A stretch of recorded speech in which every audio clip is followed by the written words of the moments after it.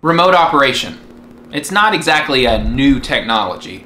It's not out of the ordinary at a media event or a trade show to see one of the big construction equipment OEMs pull out one of these massive remote controls with the neck strap and start whipping around a bulldozer or another piece of equipment with it. However, it's also not commonplace on most construction job sites. Uh, it's a considerable investment in the remote, just the remote control itself. Um, and a lot of operators are just kind of frankly uncomfortable with doing anything with their equipment while they're outside the cab. It just doesn't really make sense in a lot of applications. It's a very niche solution to very specific problems. But I think Bobcat might be about to change all of that. This looks like a pretty mundane video here with uh, a operator outside the cab and the machine working next to them. But if you look closer, perfect. Is that an iPhone? Is that an iPad?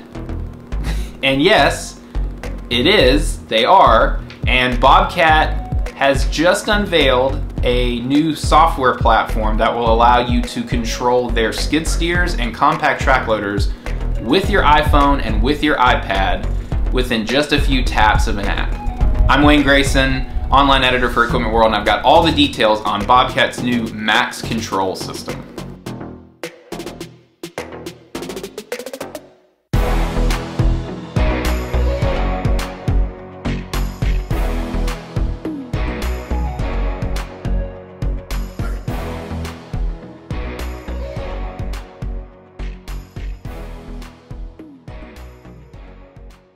Bobcat is bringing the same easy, touchscreen friendly remote operation that drones have benefited from to its skid steer and compact track loaders. Max Control allows operators to open up an app on their iPhone or iPad and take control of a nearby compact loader within seconds. So Bobcat says this new control system isn't actually just for new loaders either. It can be retrofitted on about 250,000 loaders in the field right now. In fact, compatibility with Max Control is open to all compact track loaders and all skid steers with selectable joystick control on the M2 series lineup and later.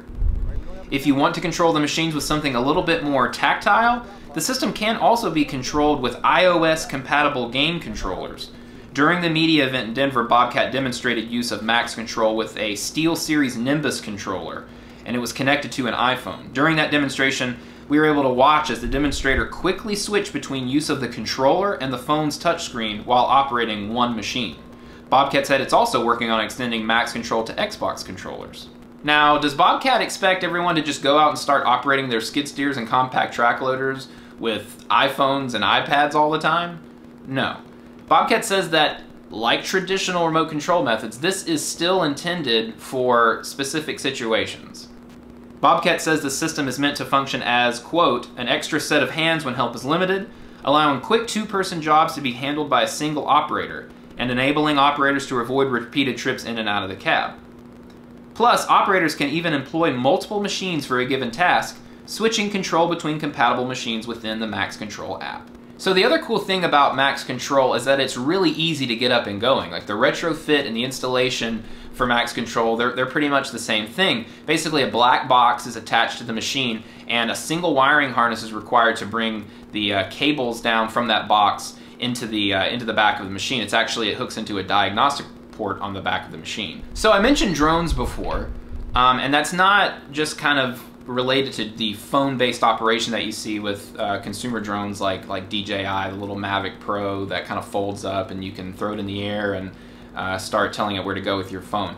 It's not just because of the phone-based operation, it's also because Bobcat is planning to launch features for Max Control that include program navigation and obstacle avoidance. And that is where you open up the Bobcat Max Control app, uh, you select a place on the map where an obstacle lies that you want the machine to be sure to steer clear of. And Bobcat says regardless if you're doing the remote operation with the app or if it's being operated by a person in the cab, the machine will actually stay away from those obstacles. The second feature that Bobcat is going to add is called program navigation. And if you've ever uh, messed around with a drone for, for, for more than an hour or so, you've probably dug into some submenus and found some kind of uh, ways uh, or modes that you can set the drone into uh, kind of doing these pre-programmed tasks. And in the same way, Bobcat says you'll be able to either get in the cab and hit the record button and carry out a task, and then the app will actually record everything you did while you were doing that task, and then you'll be able to get out of the cab, hit play, and the skid steer loader will repeat exactly what you just did on its own. It can also be used for things like uh, trailering. Uh, Bobcat says you'll be able to tell the machine from the app to go from point A to point B. So you'll actually be able to go um, between waypoints with the machine. Um, so there's there's tasks like trailering or you know uh, uh, putting the machine up for the night on the job site. Certain little tasks like that they're actually going to automate through the app. Um, so it's not full-on automation, but it, it's pretty close and it's definitely convenient.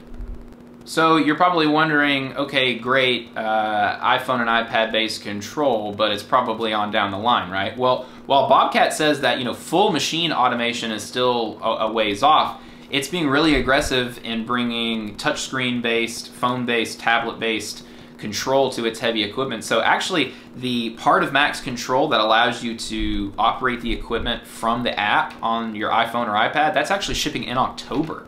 Um, it's going to be a limited release, but Bobcat says that it's ready to go out the door right now. Now, the obstacle avoidance and the program navigation, those are definitely a little further off, but um, within the next couple of years.